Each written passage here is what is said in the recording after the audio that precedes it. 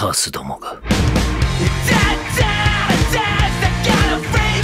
Hola, soy Bash y hola amigos, bienvenidos una vez más a nuestro canal. Y bueno, el día de hoy como ya es costumbre en el canal les traigo la review del capítulo 59 del manga de Shumatsu no Valkyrie. Así es, este mes se retrasó un poco debido a problemas con la página que lo traduce, pero aún así ya lo tenemos aquí. Y recuerden que si quieren leerlo al completo lo estaré compartiendo en mi página de Facebook. Pero bueno, honestamente este capítulo ha sido impresionante ya que nos relata el pasado de Kim Sin Juan que a mi parecer es uno de los mejores pasados que hemos visto en un personaje de Shumatsu. La verdad es que hasta el momento el de Jack era mi preferido, pero en esta ocasión estoy dudando bastante ya que el pasado de Kim Shin Juan y su madre me ha fascinado. De igual manera ya estaremos platicando y analizando lo ocurrido en este episodio. Pero bueno, el capítulo 59 está titulado El Gran Rey, haciendo referencia a la explicación que se nos dará en este episodio de por qué Kim Shin Juan es un gran rey. Y ahora sí, comenzando con el capítulo, se nos dice que fue el príncipe más maldito de toda la historia, ya que en primera instancia se nos relata que en el año 260 a.C.,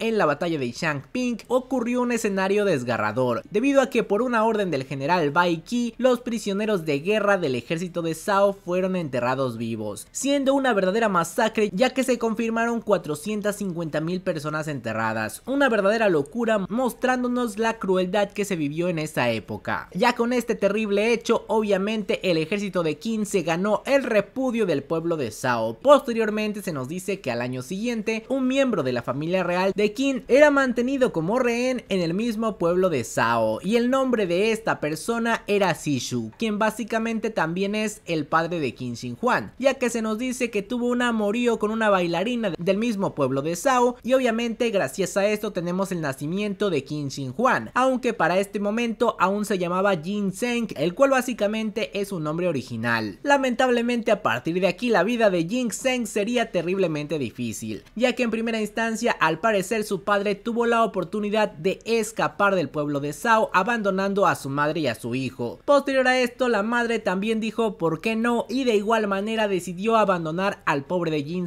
para por último mostrarnos cómo el rey de esa época de King tampoco le importó la presencia de Jin Zeng en ese pueblo y decidió invadirlo por completo. De esta manera se nos da una frase terrible que nos dice que Jing fue abandonado por su padre, su madre e incluso su propio país. Una verdadera tragedia. Posterior a esto tenemos un salto en el tiempo de 5 años, dirigiéndonos una vez más al pueblo de Sao, donde Jing se encontraba viviendo y obviamente para este punto ya tenía 7 años de edad, mostrándonos el terrible trato que recibía a cada momento, ya que incluso aquellos que estaban encargados de protegerlo, lo seguían insultando, odiando y deseando su muerte. De esta manera lo único que podía hacer el pobre de Ginseng era mantener una falsa sonrisa ante toda esta terrible situación. Pero afortunadamente en este punto la vida de Ginseng estaba a punto de cambiar debido a la llegada de una extraña mujer llamada Chunyan, la cual se revela como la nueva cuidadora y guardaespaldas de Ginseng, mencionando que ella es capaz de rebanarlo, hacerlo cuadritos y hacer lo que a ella le dé la gana con él. Pero como ya sabemos en este punto Ginseng lo único que hacía era reprimir sus sentimientos y de esta manera al darse cuenta que no tiene otra opción decide aceptar las palabras de Shun Yan sin rechistar. De esta forma Shun Yan dice que lo primero que tienen que hacer es limpiar todo ya que el lugar se encuentra en un terrible estado, aunque dice que posiblemente es el lugar adecuado para un rechazado de la familia real de Qin. Debido a esto Qin Xin Huan se mantiene con la misma sonrisa de siempre molestando a Shun Yan diciéndole directamente que no le agrada ya que un niño de su edad debería estar llorando y haciendo berrinches a la más mínima provocación, pero todo este tiempo simplemente ha estado riendo, lo cual es espeluznante. Debido a esta sugerencia vemos como Jing Zeng simplemente comienza a fingir una rabieta para tratar de hacer feliz a Shunyan, pero ella lo único que hace es retirarse sabiendo que el niño no tiene remedio. Después de esto vemos algunas escenas de cómo ellos dos se ponen a limpiar el lugar, comenzando de esta manera una inusual vida pseudo familiar para Jing Zeng. Hasta el momento en que vemos que ambos van de compras. En primera instancia, el tendero trata muy amablemente a Shun Jan, obviamente porque algo que no he mencionado es que sin duda alguna Shun Jan es una de las mejores waifus creadas en Shumatsu no Valkyrie. Lástima que solo nos duró un capítulo. Pero bueno, esta amabilidad del tendero se termina al darse cuenta que viene acompañado por el mismísimo Jin Seng, el cual como ya todos recordaremos es odiado por todo el pueblo de Sao. De esta manera observamos como el tendero le tira la comida en el suelo diciendo que se lo trague. Ante esto Shun Yan se molesta por la actitud, pero rápidamente Jin Seng lo toma del suelo agradeciendo por la comida y diciendo que estaba delicioso. De esta manera continuamos viendo más escenas de cómo todo el pueblo odia a Jin Seng y por cada lugar que pasa él es observado y criticado por todos. De esta manera regresando a su hogar observamos como Shun Yan logra percatarse de que algo raro ocurre en este niño, observando que Jin Seng tenía algunas marcas en su cuerpo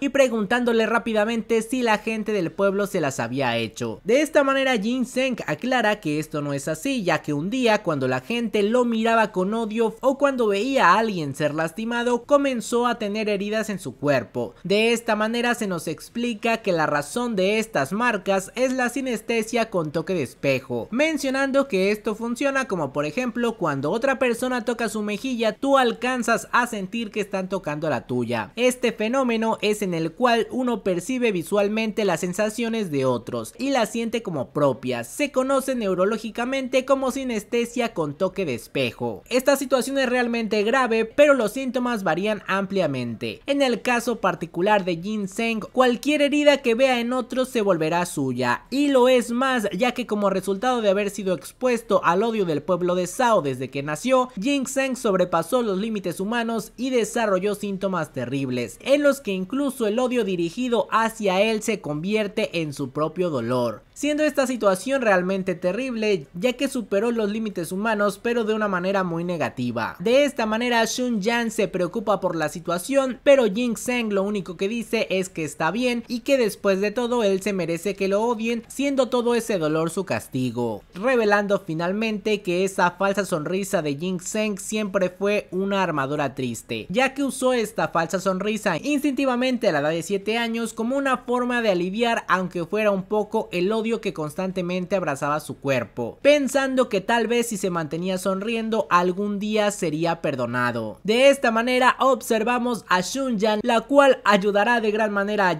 Seng diciendo que a quien cree que está engañando, cómo podría simplemente seguir sonriendo como un idiota, por qué no está enojado y por qué no los odia, ya que directamente lo que pasó en aquella batalla sanguinaria no tiene nada que ver con él y por esa misma razón no tiene que pagar por todos esos pecados diciendo que no debe reprimirse, así que si quiere llorar debe llorar, si está enojado debe enojarse, declarando que se está matando a sí mismo y se está mintiendo acerca de cómo se siente, por lo que finalmente debe demostrar sus emociones, diciendo finalmente que no importa qué tan malos fueron sus padres, su hijo no merece ninguna clase de castigo, declarando que él es una persona amable que entiende el dolor de otros y sus heridas son prueba de ello, por lo que Shun Yan abraza a Jin Sen diciendo puedes vivir como quieras, observando cómo finalmente esa falsa sonrisa de Jin Sen se rompe para revelar sus verdaderos sentimientos, comenzando a llorar y gritar que los odia a todos, ya que él no merece todo el odio que le han cargado porque no ha hecho nada directamente. La verdad es que sí, pobre vida la que había llevado Jin Sen hasta este punto. Y básicamente se nos dice que este fue el momento en el que Jin Sen por primera vez mostró sus verdaderos sentimientos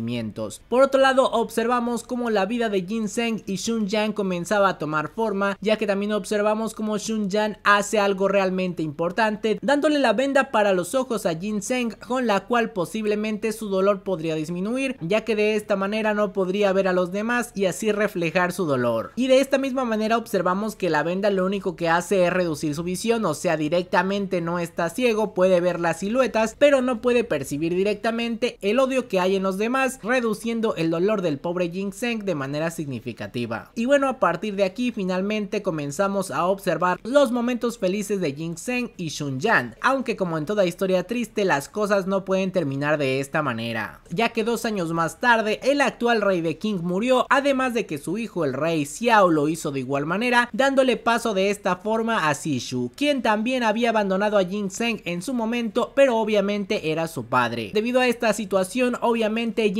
Como heredero de su padre tendría que presentarse como el legítimo príncipe. De esta manera regresando después de muchísimo tiempo al territorio de King. Lamentablemente debido a esto Shun Yan no podría continuar cuidando a Ginseng ya que su trabajo terminaría directamente en la frontera. Pero a pesar de todo estaban muy felices por haber vivido ese tiempo juntos. De cualquier forma Ginseng quería que Shun Yan lo acompañara, pero debido a que él es un príncipe actualmente y ella no pertenece a ese territorio simplemente no podía hacerlo. Pero bueno una vez estaban a punto de salir de la frontera de Sao observamos como el carruaje que los llevaba es atacado. Y obviamente esta es una vez más la consecuencia de todos los actos de su padre y del reino de King, por lo que la venganza hacia el príncipe Ginseng continuaba. De esta manera observamos como un grupo de guerreros amenaza la vida del príncipe y algo que es extremadamente resaltante es que Ginseng a pesar de su miedo decide proteger a Yun Shan determinado a pelear junto a ella. De esta manera Shun Yan sonríe orgullosa sabiendo que no esperaba menos del príncipe, pero a pesar de esto también sabe que no puede ponerlo en riesgo, golpeando en el estómago y dejándolo tirado rápidamente, determinándose ella a detener a todos estos maleantes, diciendo que después de todo este es su trabajo y comenzando así el combate. Y bueno, rápidamente observamos que las habilidades de Shun Yan no son poca cosa, ya que puede noquear rápidamente a dos de estos tipos. Lamentablemente debido a estar en una gran desventaja numérica, es atacada por la espalda recibiendo el ataque directo de una espada. A pesar de esto ya logra darse vuelta y noquear al tipo, pero aún así todavía faltaba el último y ella ya estaba extremadamente débil, siendo cortada directamente en el pecho ante la mirada de angustia de Ginseng sin poder hacer nada para que después este último hombre se determine a acabar con la vida del príncipe. Pero cuando parecía todo perdido, observamos como Shun Yan se levanta para acabar con el último tipo girándole la cabeza, diciendo la frase a mi niño no te le acerques y asesinándolo. La verdad es que sin duda alguna esta es una verdadera madre. Y bueno, gracias a esto los malhechores fueron asesinados, pero obviamente las heridas de Shun Yang eran realmente terribles, por lo que le quedaba poco tiempo de vida. De esta manera, sabiendo que su vida estaba a punto de terminar, decide revelarle la verdad a Ginseng, mencionando que ella tenía un hijo que tendría la misma edad que él, llamado Shun Oh, pero él fue uno de los que fue enterrado vivo en aquella conocida masacre, dejando totalmente devastada a Shun Yan, por lo que comenzó a odiar a todo y a todos, dirigiendo como el resto del pueblo de Sao su odio hacia el mismísimo Ginseng. Pero obviamente después del tiempo que pasaron juntos, ella se dio cuenta que él no tenía la culpa de nada y que realmente era un buen niño, por lo que su sentimiento de venganza dejó de importarle. Y se dio cuenta que si un niño como él, un niño que comprende el dolor de los demás llega a convertirse en un rey, entonces tal vez podría cambiar ese podrido mundo aunque sea un poco. De la misma manera que la cambió a ella, diciendo que recorra el camino en el que cree y que se convierta en el mejor rey. De esta manera Ginseng acepta las palabras de su madre diciendo que lo promete y que se convertirá en el mejor rey, a lo que ella termina diciendo que si se siente triste debe llorar tanto como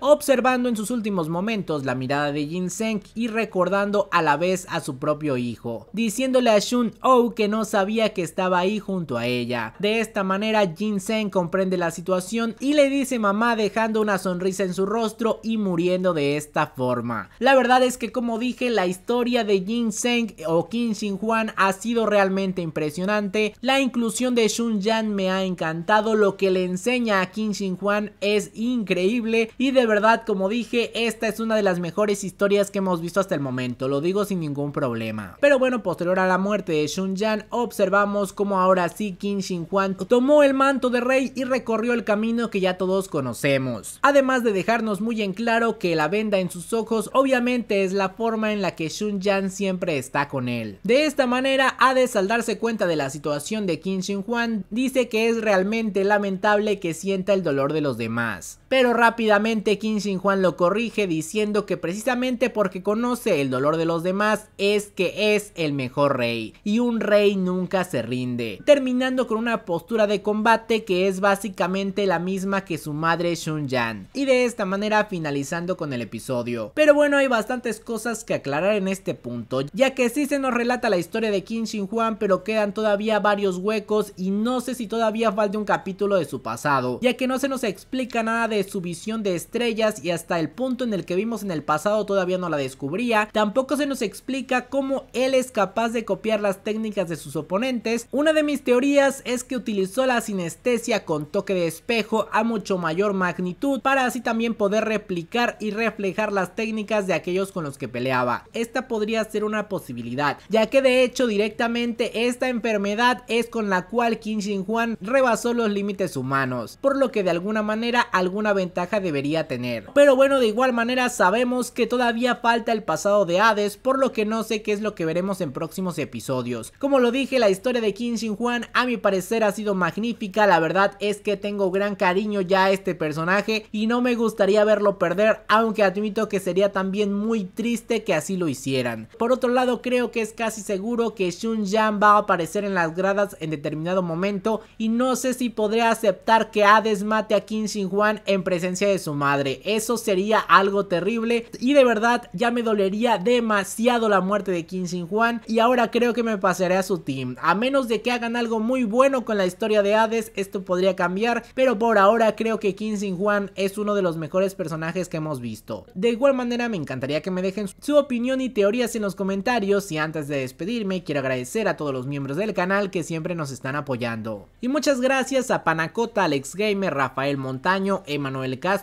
Armos, Rodrigo García, Lestad Almora, Roberto Pedrero, Random Games, Fanny Morales, Paulex29, Adrián Rizco Vilches, J. Daniel Alvarado, Soules y Bárbara Ninao. Y ahora sí, sin nada más por añadir, adiós.